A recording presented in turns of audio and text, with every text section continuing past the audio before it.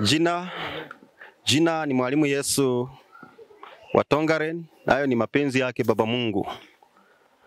Nashukuru Mungu kwa ajili ya ndugu wapendwa ambao wametutembelea wakeni kwa ajili ya kuhabarisha walimwengu pia ujumbe wa Yesu wa Tongaren. Huyu ni Nabii Benjamin. Alipokea nyota ya malaika Benjamin wakati tulikuwa hapo ndani, kama mlikuwa, aliona wingu likashuka, mkono ukitokea kwa wingu likampokesa mayai kwa, na nyanya. Alikuwa mkono ulikuwa wa malaika Benjamin, roho wa Mungu ambaye amefanya maskani ndani mwake, maana amesimama kwa kura. Utasimama mtumishi kidogo.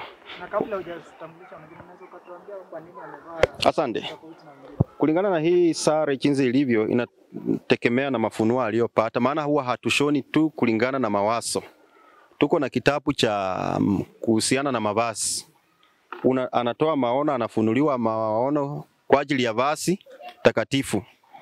Hili Vasi la Ret anapoomba aliyembariki na hili vasi Roho wa Mungu ambaye ni malaika wa mbinguni ana, anapoomba na kutaja kwamba moto ukaingia eneo fulani, huo moto unaingia na kuteketeza miungu.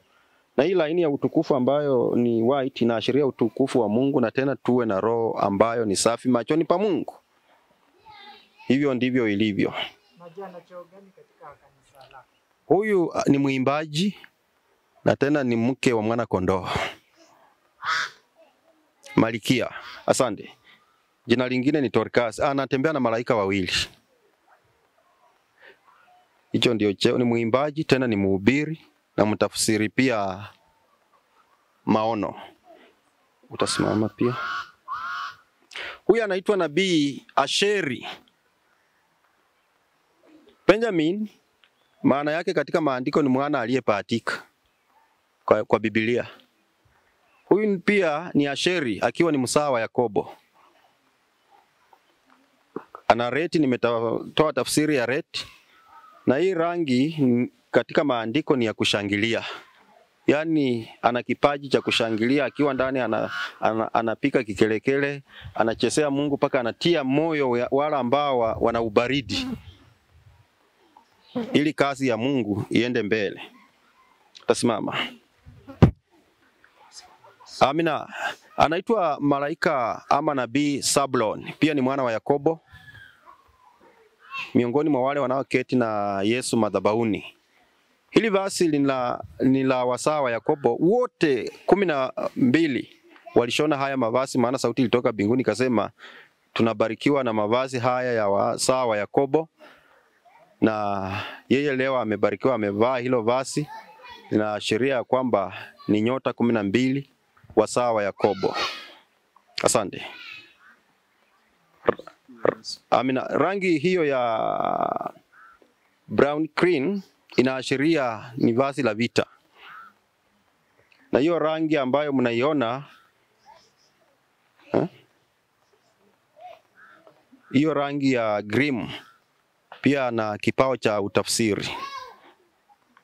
Huyu ni malaika Yuda mwana wa Yakobo, si malaika yule, yule aliyekuwa msaliti. Sasa mnapoweka watu wasitanie ni Yuda Iskarioti, ni malaika Yuda mwana wa Yakobo. Pia ni mcheza drama na kio chake cha unabii ni kikali sana. Maono yake hainanga tafsiri. Akitoa maono kwa kanisa inaenda direct huwa hatushughuliki na kutafsiri kipawa chenye alipewa. Amina. Hilo vasi ni la kivita katika chuo cha unabii kiroho. Walimwengu wasi, wasifikirie labda Yesu anapanga vita vya kuwapika hao. Tunapika mizimu na wafalme wa kisa. Hilo hilo basi ni la kivita na anaitwa nabii Isakari. Pia ni mwana wa Yakobo. Ukisoma Ufunuo saba na Ufunuo kumi na nne Yesu akirejea mara ya pili ataketi na wasaa wa Yakobo, na kupitia kwa kila mmoja atajikusanyia alfu kumi na mbili wote watakuwa alfu mia moja arobaini na nne ukiongezea wana wa Yusufu wawili Manase na Efraim watakuwa elfu mia moja sitini na nane maana pia kila mmoja atakuwa na elfu kumi na mbili Asante. Uta, utakuja huku. Huyu Amina ni malaika ni malaika Ruben mwana wa Yakobo mkubwa. Pia katika vitabu vya Ufunuo utampata kumi na nne na, mm, na saba Ufunuo wa Yohana. Pia ukisoma Exodus moja utawapata wametajwa hapo, hata kwa mwanzo wametachwa maana ni kasi yake Baba Mungu. Asante. Hilo vazi pia akiomba Mungu anajibu maombi. Ikiwa kuna kuta za kuzuia zinapomolewa na moto. Amina. Huyu ni malaika Lawi, pia ni mwana wa Yakobo. Alipewa jina la mwana wa Yakobo. Katika Danieli kumi na mbili Mungu alimwambia Danieli, alituma malaika akasimama katika mto wa Tikri, na yule malaika mikono yake ikaelekea juu mbinguni, na akamwambia Danieli, uyatie tu mambo hayo muhuri na ukakifunga kitabu mpaka uka, na ukaenende ukapumzike mpaka mwisho wa nyakati, hata nawe Danieli utasimama kwa kura yako. Sasa malaika Lawi wa mbinguni mwana wa Yakobo pia amesimama kwa kura yake. Lawi, vasi lenyewe ni red, nimetafsiri red. Hili vasi hilo lile rangi inaashiria pia nguvu za niliona malaika Samson wa binguni akiwa na hilo vasi. Pia tukawa na huyu nabii hapa. Hii rangi pia inaashiria hatari. Kama mtu ameroka, mtu amemweka kwa mtungi na tukule njama ya binguni, tukiambia malaika Abraham ingia kwa huo mtungi, hata ikiwa mtoko namna gani, Mungu atamfanya atoshea hapo ndani, na huo mtungi utapasuliwa na vilivyo ndani vitachomeka. Na hii green vikichomeka, sasa hao wenye wamefungwa wanapokea uponyaji, na hii yellow, wakati wa kupokea uponyaji Yelo sasa wamepokea afya. Kama walikuwa wanapoteza pesa kwa ajili ya magonjwa ya kijawi na kilaana, sasa pesa zitatumika kwa mambo mengine. Watapaki wakishangilia Mwenyezi Mungu, wakifurahia pendo la Mungu. Anaitwa malaika Abishai. Abishai pia hilo vasi ni la Samson akiomba mara nyingi maono yake anasema, Yesu, nimefunuliwa, nimeona watu wamepangana laini na ni wengi, na nimepewa upanga mkali kutoka mbinguni, ninawakata wote mpaka ninawamaliza watu maelfu na maelfu. Sasa nikamwambia una, una heri, maana huko kama una roho ya kama nabii Eliya alikata wale, aliwaua wale manabii wa Bali. Hiyo roho pia ya Elia imo ndani. Maono yako yote ni ya kuua wale manabii wa uo hizo roho za mapepo. Anaitwa. Fimbo yenye unaashiria ya kwamba utongo wetu na unaashiria asili yetu. White inaashiria moyo mweupe wa unyenyekevu na utukufu wake Baba Mungu. Huyu anaitwa malaika Kwato. Ana kichifu pia nguvu za Nabii Samsoni, pia akiamua kuingia mahali kiroho, miungu inapomolewa na hiyo sky blue inaashiria hii kazi inatokana na Mungu mwenyewe, si hapa duniani. Huyu anaitwa nabii Berekia, malaika Berekia. Mwalimu Yesu akiita nabii inamaanisha prophet, si ni kweli? Tena nikiita malaika kwangu, si kwa lugha yetu hapa Jerusalem haina tosari yoyo yoyote. Tena nikiita mtumishi hakuna tosari yoyote. Hayo majina yote inatokana na Mungu na inatokana na utendaji kazi wake, kazi yake Baba Mungu. Hiyo ni uponyaji. Nabii Arieli, malaika Arieli alipokea jina la binguni nyota ya nabii Arieli. Buluu inaashiria mambo yanatoka binguni Yele inaashiria tahadhari, onyo. Yaani ukipokea kipaji usicheze, ukicheza cheza na eh, yai litaanguka. Oyoke mbali tila. Si siakwata ina si mnaona kwa uwanja watu wakicheza, kuna mwenye anasimamanga na kati ya yellow. Yellow card. Asante, unapepa mkono hapo, nasonga hapo kidogo. Huyu anaitwa malaika Sila, amevaa vazi la utukufu. Amina. E, anaitwa nabii Badropa anaitwa nabii Solomon. Tumekuwa naye hapo mlimani. Mnasonga kidogo, wanataka waone waone hayo mavazi. Anaitwa Shemaya, vazi la white na black, asili na utukufu wa Mungu umu Afrika, yaani umuvukusawola alikumukasa wele karerewa Muafrika livasi, maana hiyo vazi la huyo nabii na huyu nabii Patropa anaitwa malaika Gad, pia ni miongoni mwa wale wana wa nabii Yakobo. Hilo vasi ni la nini? Nabii Gad ni la vita. Mshonaji wa mavazi ndio huyo, anashonea mkono, msifikirie ni ya jerehani mwenye anaandika huyu. Huyu anaitwa nabii Bilia, mmoja wa wale wake wa wa nani? Yakobo. Hilo vazi pia linaashiria apalilie kipawa ambacho amepewa, utongo pia. Huyo ni farasi inayoitwa nabii Pela, pia husunguka duniani akitenda kazi ya Mungu. Ni mwimbaji na pia anatumwa kuokoa wale ambao wamelemewa na magonjwa. Amina. Huyu anaitwa nabii yake, amevaa hilo vazi na pia nimetafsiri hiyo rangi ni tahadhari, tahadhari tena onyo, tena ukomavu. Yaani wewe umekomaa kwa neno la Mungu, maana kuna kitabu cha rangi ulikuja nacho leo, kipo, utaonyesha tu huku pia wachukue. Huyu anaitwa Napito Masa aliyeshika kwa alama, huenda alikuwa anapingana ya kwamba si Yesu, na Mungu akamchalia siri na akakundua siri ambayo inajiri. Hiyo kirini ni uponyaji, reti ni tesa miungu.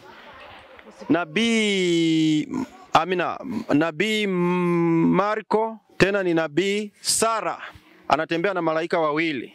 Hilo nyota, e, basi ambalo amevaa ni la nyota kumi na nne. Tuko na manabii kumi na nne ma, e, manabii kumi na nne ni wasaa wa Yakobo, ni basi la nyota ishirini na nne tuko na manabii ishirini na nne wote kabidhiwa haya mavazi.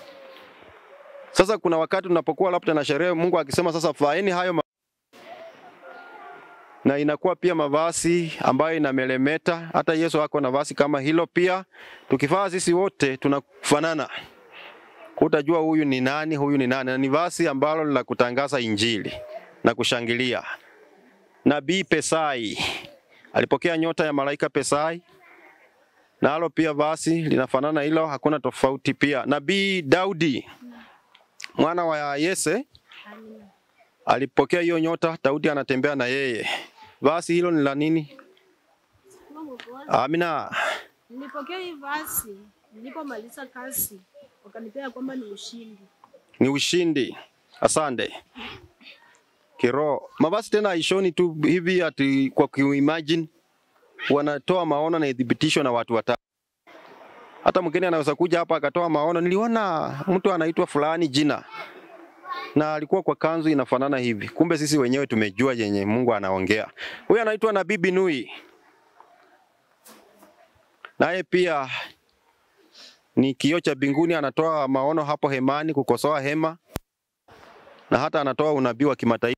Nilipata maono ya Warwanda kuingia hapa tu 17 waliingia wawili, na kila kitu chenye kilifanyika kwa huo ujumbe wake wa 2017 hiyo maono ikatimia. Wakati waliingia pia tukatoa kitabu wakasoma huo uju ujumbe.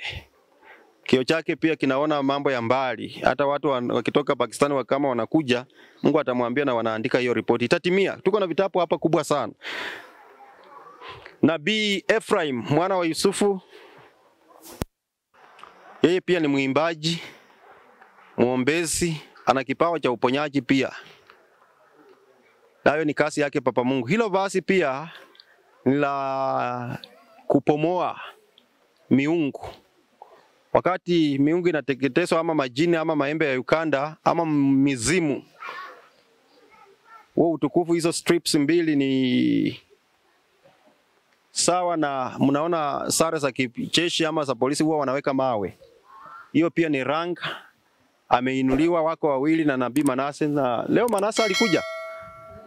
Hapana, tata kuja huku mbele wakuone, kuja tuone, kuja simama hapo. Huyu ni tata yangu, yeye hajapokea jina, lakini ameruhusiwa tu kuvaa vazi. Na mara nyingi hili vazi linaashiria ufalme. Lenye amevaa papo, lakini Pata hajapokea jina la binguni Kuna sababu. Pata anachunguzwa, maana ripoti zinatoka wapi? Mungu anaangalia vile pia anatembea na pia apokee jina kutoka binguni. Pia tuko hapo na mwingine anaitwa mko nyuma, kuna wa, huko nyuma kuna wale ambao majina yao tayari imeletwa na imethibitishwa mara tatu mara nne, huenda hivi karibuni watapokea majina ya binguni. Niliona karatasi ikatoka juu binguni, watumishi na manabii na majina yao, na wakaniambia huyu niliona nabii Ibrahim, huyu msichana mwenye anakuita Andi pia alipokea jina. Unamjua? Si uko naye? E, nilikuwa naambia nabii Benjamin, tulikuwa nao, walikuwa kwa mto mkubwa sana, na watu walikuwa wanashangaa wakati walitoka kwa mto, wakati walikuwa wanatoka tu kwa mto hivi, walikuwa wengi na pia Yakobo, na wakaweka, wakaweka tu wimbo wa Kiluya no baluya bembanga mwana na kameluchi haba woyayisya neza utiba uleli bena aba nono semwaminyilenge nono bosi bakhola sikhe beto ya likulu ne karatasi ama mwikulu wanaleta majina. Sasa ikawa hivyo. Utasimama nabii Yakobo. Huyu ndiye baba wa hawa watu kumi na mbili. Yakobo.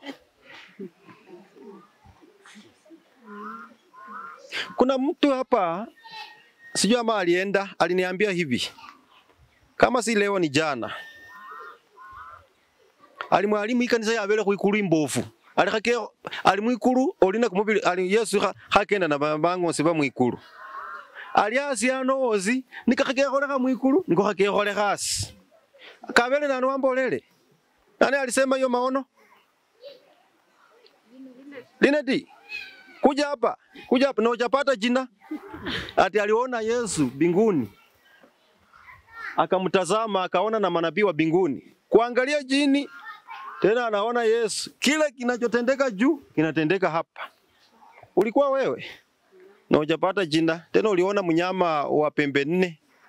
Na hiyo maandiko iko kwa Danieli saba na ni kama Mungu pia amekupea kio kikubwa sana. Aliwaambia jana hiyo maono. Najua jana nilikaa nje na wakeni tena.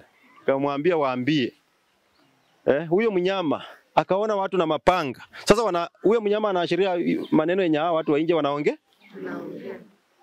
Una heri kuona kanisa binguni, ukaona Yesu mwili wa binguni na ukaona tena jini. Sasa huyu ni mtarajiwa pia jina. Kuja simama hapa.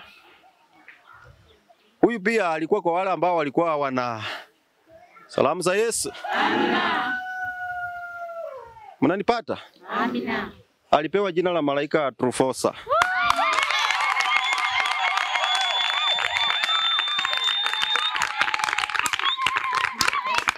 Amina. Salamu za Yesu. Amina. Mnanipata?